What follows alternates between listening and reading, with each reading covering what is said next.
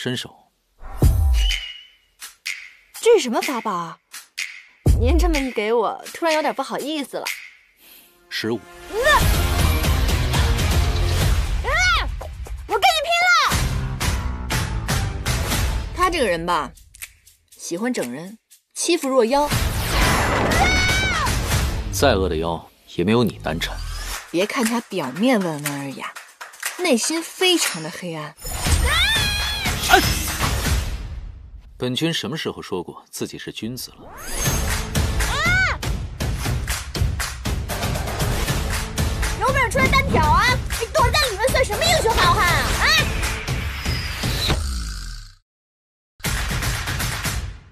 过早！我要学习，我要复仇！啊！有没有那种不用近身并可以一招制胜的仙法秘籍？给我拿来！迷人法则，要对我做什么？放肆！哎，年纪轻轻的，怎么就病倒了呢？啊！这就是你污蔑、诋毁我的惩罚。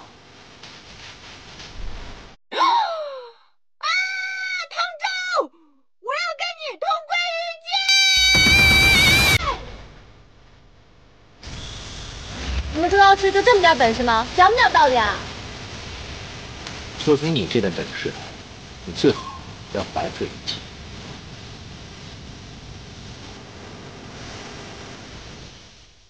你难道不想凭真正的实力赢过我吗？那你得给我展示展示你的真本事啊！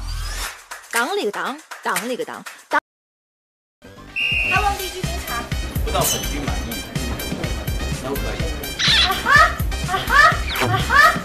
赢了，Round Two，你过来一下。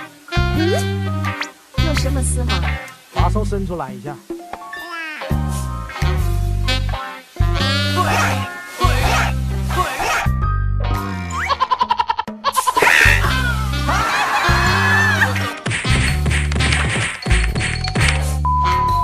Round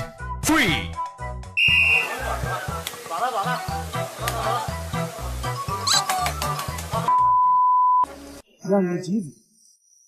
机会为你的行为后悔的。尽管放马过来吧。是时候表演真正的技术了。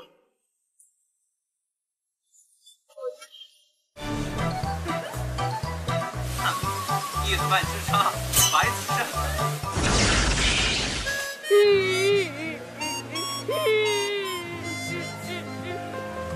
天多有得罪，请见谅。下次再战，来吧，奏一个为颜丹姻缘的友情，不对，为颜丹姻缘的爱情，难得。优酷的朋友们，大家好，我是常毅，在《沉香如屑》当中饰演的角色是青离帝君尹渊。尹渊呢是天界最年轻的帝君，嗯，一心只为守护天下苍生。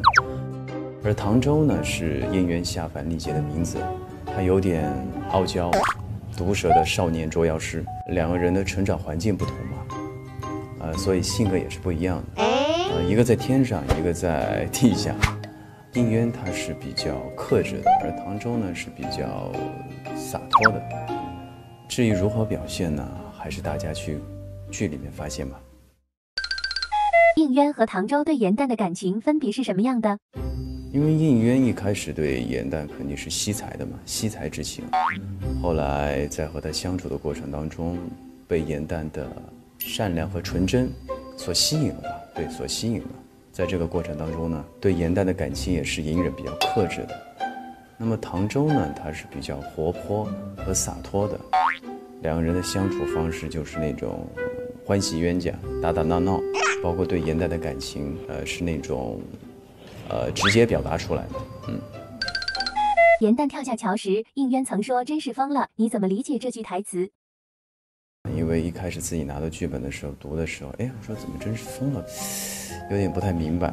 包括再去读的时候，哎，自己可能是这样的理解。后来在剧组和导演老师还有编剧老师，我们一一起讨论剧本的时候，围读的时候，还包括大家主创嘛，所以特别有意思，就是说。这一波人说：“哎，你这句真是疯了，肯定是说严旦。”包括这一波人说呢：“哎，你这个真是疯了，肯定说的是自己。”那么我就说：“哎，那这肯定是每个人坠入爱情的时候都是疯子。结果每个人恋爱的时候，谁有理智啊？”我们去把这场戏拍完了之后，我们到对这句话还是真的希望听到观众朋友们看到我们这个剧情的时候，说到这句话的时候，他们是一个什么样的理解和什么样的反馈？印象最深的一场戏是。印象最深的，那就应该是新疆的仙魔大战了。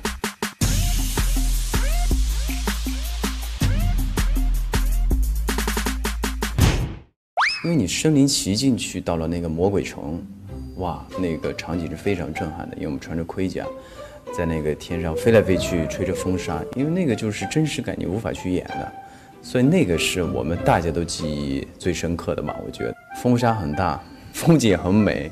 美食很多，应该一两斤，但是我基本上不会让我的在拍戏的过程当中，我不会让自己那个体重幅度很大，要不然就不接戏了。哎，不行，你再吃宵夜双下巴就该出来了，就不能吃。除了你的角色外，最想尝试哪个角色？嗯，天地吧，因为读到剧本的时候，我觉得天地老师有一场戏是。很不一样的，我也蛮期待的。我觉得演起戏来是蛮过瘾，那这个我就不剧透了，大家可以期待一下，希望不要被删减啊。时隔多年再次与杨紫合作，有什么感受？什么感受？呃，和杨紫老师嘛，就是认识很多年的好朋友了，嗯，包括这一次再合作，那么我觉得大家都成长了很多，在演起戏来的时候也很有默契。那么通过这一部戏下来。也能在杨子老师身上也能学到很多，呃，包括这部戏拍完之后，自己在戏剧理念上各个方面也成长了一些，或者就是说我们聊下一场戏怎么演的时候，他说：“哎，你怎么设计的？或者怎么样？怎么想的？”就觉得蛮有意思，就大家分享一下自己最近的状况，或者怎么样，我大家觉得累了给对方鼓鼓气啊。我们整个团体合作下来是非常愉快。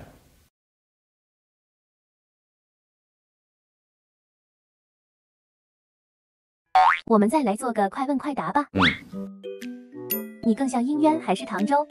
那肯定是唐周啊。生活中如果认错了人，要怎么化解尴尬？那肯定是微笑带过吧，就是装作不知道了。喜欢欢喜冤家模式还是相爱相杀模式？嗯，共同进步吧。喜欢你的白发造型还是黑发造型？这个得让观众你们去检验了。最想 get 剧中的什么技能？不，想去哪就去哪，瞬间移动。每次休息一定会做的事情是什么？就睡觉、健身。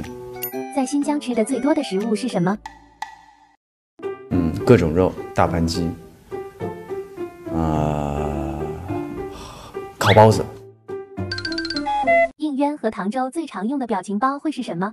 应渊会说懒得理你，唐周会说哼。哼哼。应渊和唐周的口头禅分别是什么？口头禅，聒噪。那么唐周会说，想进葫芦里吗？对。最后来向大家推荐一下这部剧吧。《沉香如屑》呢，是一部包含了所有工作人员的一部很用心的一部戏，呃，会很精彩，敬请